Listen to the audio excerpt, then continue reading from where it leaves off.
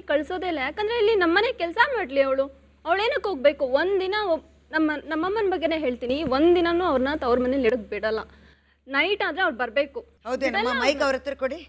ಮದುವೆ ಆಗಿ ಇಪ್ಪತ್ತು ವರ್ಷ ಆಯಿತು. ಏನಕ್ಕೆ ನಮ್ಮ ಅತ್ತಿಗೆ ನನಗೆ ಜಗಳ ಬರಲಿಲ್ಲ ಅಂದರೆ ಇಪ್ಪತ್ತು ವರ್ಷದಿಂದ ಒಂದು ದಿನ ನಮ್ಮ ಮನೆಯವ್ರು ಒಂದು ನೈಟು ನಮ್ಮ ಅಮ್ಮನ ಮನೇಲಿ ಬಿಡಲಿಲ್ಲ.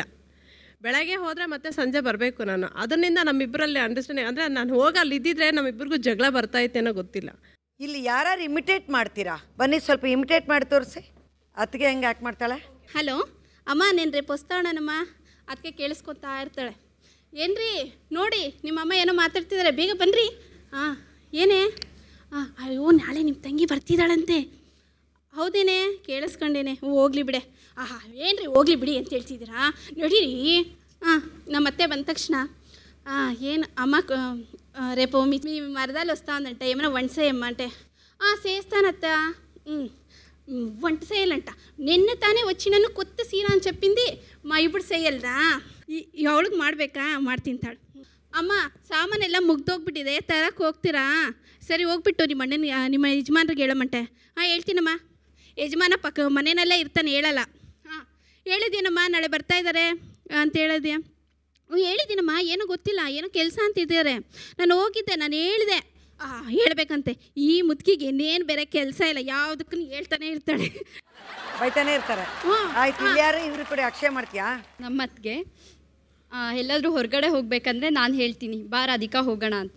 ಫಸ್ಟು ಏನಾದ್ರು ಅಡುಗೆ ಮಾಡಬೇಕಂದ್ರೆ ಏನಕ್ಕೆ ಇವತ್ತು ಉಪ್ಪಿಟ್ಟು ಮಾಡಿದ್ಯಾ ತಿನ್ನೋಕ್ಕಾಗಲ್ಲ ಅಂದರೆ ಅಮ್ಮ ಹೇಳಿದ್ದೆ ಇದು ಅದಕ್ಕೆ ಮಾಡಿಬಿಟ್ಟೆ. ಇದಕ್ಕೂ ಫಸ್ಟ್ ಅವ್ರ ಮನೇಲಿ ಹೆಣ್ಣು ನೋಡೋದಕ್ಕೆ ಹೋದಾಗ ನಿಮ್ಗೆ ಇಷ್ಟನಾ ನಮ್ಮ ಅಣ್ಣ ಅಂತ ಕೇಳಿದ್ಗೆ ನಮ್ಮ ಅದಕ್ಕೆ ಹೇಳಿದ್ದು. ನಮ್ಮ ಅಮ್ಮ ನಮ್ಮಮ್ಮ ಏನು ಹೇಳ್ತಾರೆ ಅದೇ. ಅವ್ರು ಹೇಗೆ ಹೇಳ್ತಾರೆ ಹಾಗೆ. ಅವ್ರ ಹತ್ರನೇ ಕೇಳಿಬಿಡಿ. ಹಾಗಂತ ಹೇಳಿದ್ರು. ಆಗ ಹಾಗಂತ ಹೇಳಿದ್ರು. ಸರಿ ಈಗ ಹೊರಗಡೆ ಹೋಗಬೇಕು ಬಾ ಶಾಪಿಂಗ್ ಹೋಗ್ಬಿಟ್ಟು ಬರೋಣ ಬಾ ನನ್ನ ನನ್ನ ಜೊತೆ ಅಂತಂದರೆ ನಿಮ್ಮ ಅಣ್ಣನ ಕೇಳಬೇಕು ಅಮ್ಮನ ಕೇಳಬೇಕು. ಓಕೆ ಅಮ್ಮಂಗೆ ಕೇಳ್ತೀನಿ ನಾನು ಅಮ್ಮ ರಾಧಿಕಾ ನಾನು ಶಾಪಿಂಗ್ ಕರ್ಕೊಂಡು ಹೋಗ್ತೀನಿ. ಹ್ಞೂ ಸರಿ ಕರ್ಕೊಂಡು ಹೋಗಮ್ಮ. ಅಣ್ಣನ ಕೇಳಬೇಕು. ಕೇಳಿಬಿಡು ಒಂದು ಸರಿ, ಆಮೇಲೆ ನಾನು ಕೇಳ್ತೀನಿ. ಅವಳು, ರೀ ರೀ. ಏನೇ? ರೀ ರೀ. ಮಲ್ಕೊಂಡಿದ್ದೀನಿ ಏನು ಹೇಳು? ಶಾಪಿಂಗ್ ನಿರ್ಮಲನ ಜೊತೆ ಹೊರಗಡೆ ಹೋಗ್ಬೇಕಂತ ಅಂಗಡಿಗೆ ಹೋಗ್ಬಿಟ್ಟು ಬರಲ್ಲ ರೀ. ಅಮ್ಮಂಗೆ ಕೇಳೋಗೆ.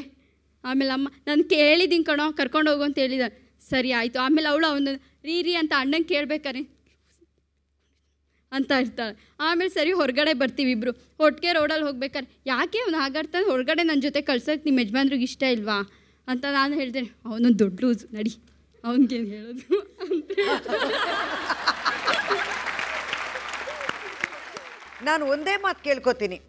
ಹೆಂಗಸರು ಏನೋ ಒಂಚೂರು ಆ ಥರ ಈ ಥರ ಮಾತಾಡ್ಕೊಂಡ್ರು ಎರಡು ಜಡೆ ಸೇರೋದಿಲ್ಲ ಅಂತಾರೆ. ಮಾತಾಡ್ಕೊಂಡ್ರು ಈ ಗಂಡಸ್ರು ತಲೆ ಮಧ್ಯದಲ್ಲಿ ಬಂದು, ಬಿಡಿ ನಾನಿಬ್ಬರಿಗೂ ಸಮಾನ.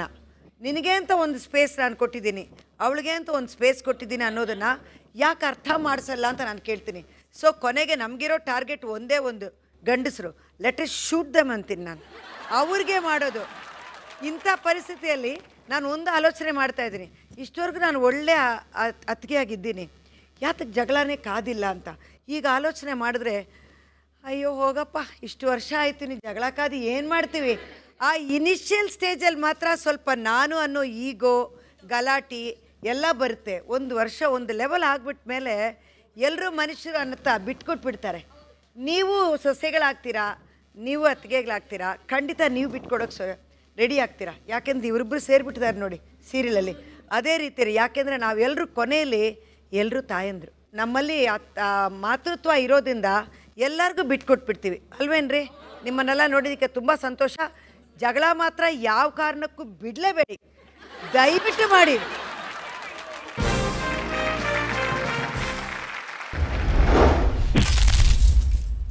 ನಮ್ಮ ಸುತ್ತಲ ಸಂಬಂಧಗಳು ಹಳಸಿವೆ, ನುಚ್ಚು ನೂರಾಗಿವೆ. ಅಹಂ ಇಲ್ಲದ ಅತ್ತಿಗೆ ಚಾಡಿ ಹೇಳದ ನಾದಿನಿ ಬಹುಶಃ ಸಾವಿಲ್ಲದ ಮನೆಯಲ್ಲಿ ಸಾಸ್ವೇತ ಅಂದಷ್ಟೇ ಸತ್ಯ. ಆದರೂ ಸಾಮರಸ್ಯವೇ ಬದುಕು. ಸಂಬಂಧಗಳನ್ನು ದೂರ ಮಾಡಿಕೊಳ್ಳೋ ದುಷ್ಟತನಕ್ಕಿಂತ ಹತ್ತಿರ ಮಾಡಿಕೊಳ್ಳೋ ಹೊಂದಾಣಿಕೆ ನಿಜಕ್ಕೂ ಅರ್ಥಪೂರ್ಣ. ಅಂಥ ಅರ್ಥಪೂರ್ಣ ಬದುಕನ್ನ ನಮ್ಮದಾಗಿಸಿಕೊಳ್ಳೋಣ.